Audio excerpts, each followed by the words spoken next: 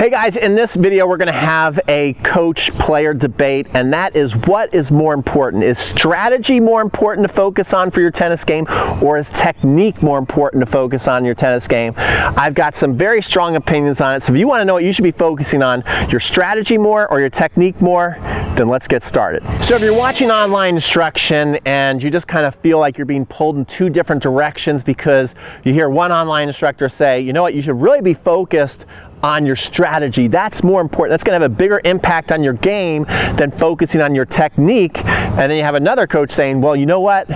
If you can't hit the ball there, it doesn't matter. If you can't execute, your strategy doesn't matter. Okay, so both are actually true.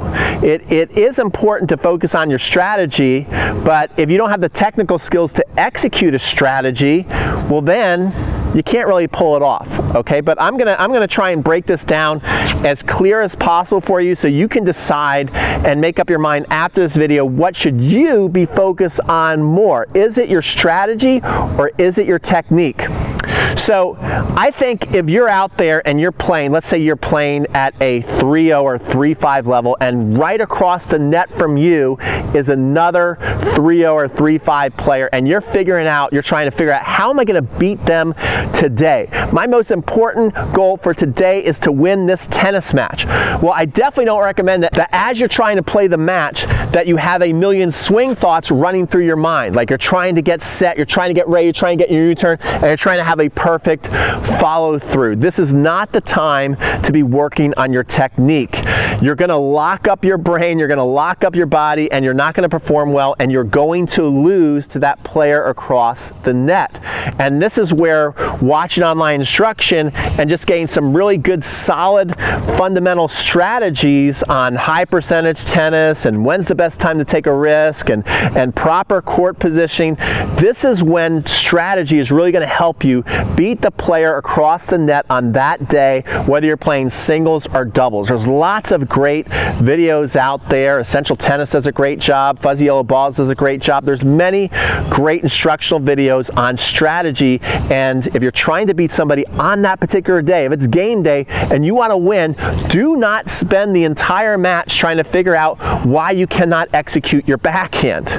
Okay? But when you get home, you've got to have a heart-to-heart -heart conversation. If you go out there and you play a match and your backhand has completely let you down, you're just so inconsistent, so erratic, people are picking on it, and you want to go to that next level. You're like you're like a 3-5, but someday you're like, man, I want to be a 4-0. I want to be a 4-5. Well, then then your technique is your main problem. The technique has to get better because here's another thing about strategy and execution. At a higher level, your technique has to be better because your execution has to be better right? So if you have a strategy of hitting a cross court ball or hitting a down the line approach shot or hitting a drop volley, as you get to a higher level, that execution has got to be at a higher level. It's just got to be a better quality shot. And how are you going to do that? You're going to do that by having better technique.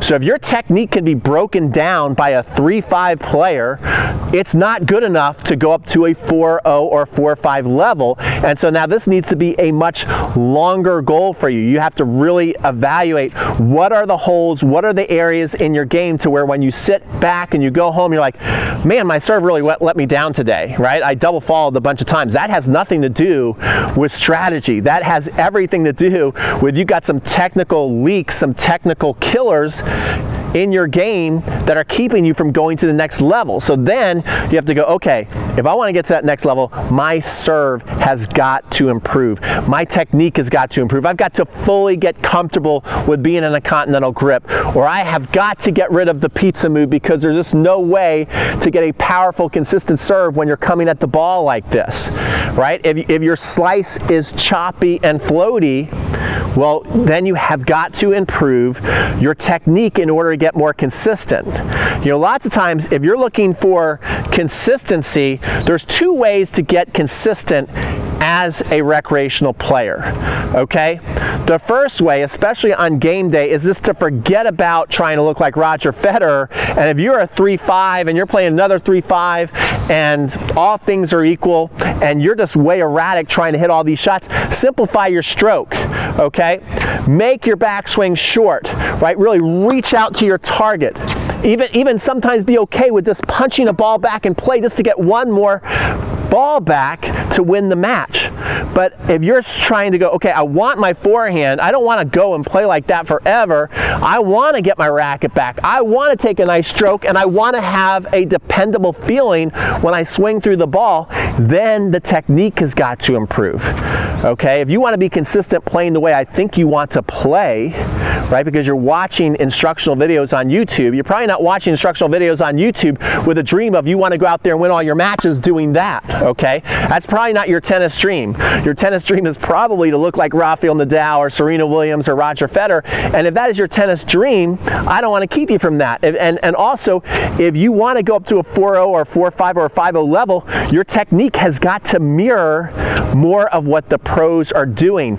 And this will help you play more consistent tennis when the match is on the line at a higher level. In fact, uh, I got to do a, an interview with Gigi Fernandez and uh, Mark Woodforde the other day, and, and, we were talking about the volley, and they were talking about how they feel like they should never miss a volley. I'm like, well, how do you feel like you should never miss a volley? Recreational players, you know, don't feel like that. We don't feel like that. We we, we get really self-conscious in matches, and and we miss easy volleys. We overswing. How are you doing that? And she's and Gigi Fernandez said, well, because my technique was perfect. So when my technique is perfect, and I know I have flawless technique, it builds up your confidence, and then you can execute under pressure. Okay, so, so that is super important. Now, if you're looking to do that, what I actually have right now going on, if you watch this video in time, it might not be in time, so make sure you click the link. I'm gonna put in the description uh, box, so make sure you go to the description box and read and click on the link to join a seven day consistency challenge. It's really awesome because this is going to help working on our technique to get to a higher level, okay? To where you can go out there and compete and swing through your shots and play consistent tennis. The idea is that we're going to get rid of your consistency killers, the technical flaws you have that keep you from being consistent in match play, especially when you want to go for your shots and just not poke your shots in the court. So this is kind of a long-term project. If you know you have consistency killers that are keeping you, holding you back from getting to that next level, whether it's double faulting in a match with your server, your backhand getting picked on, or you just can't feel comfortable running to the court and hitting a solid approach shot and coming to the net, that's what the seven day consistency challenge is all about. And another cool thing is, is each day we have a challenge. We've got drills that you can do on the court uh, with a ball machine, with even out balls. So we have we have shadow stroke drills, we have ball machine drills. I even go out to the wall with each and every day and I show you how you can practice against the wall. So whatever your mode of practice is that you like to practice by yourself, you can do that. And I go out and I film all of that so you don't have to leave it up to your imagination. And then we finish each day with a challenge. If you want to do a challenge, each day the winner of a challenge, whether you're using the ball machine, a wall, just a basket of balls, the winner in each category is going to get a $25 gift certificate to, to Tennis Express. And plus, since it's the holidays, we are taking 20% of the proceeds from the challenge and we're giving it to the United Way since this has been such a rough 2020 for everybody. We did this earlier in the year and we were able to raise $2,500 when COVID first hit. We raised $2,500, gave it to the United Way. It was an awesome feeling, but I want to beat that since the holidays. So this will not only be helping you in your tennis game, but somebody out there in need. Uh, so make sure that you click the link and join our seven day consistency challenge. We're going to be starting uh, not, uh, I believe it's going to be December 20th. I, I don't have the, uh, the date right there. I will put it on the video though. I'll make sure I'll put it on the video.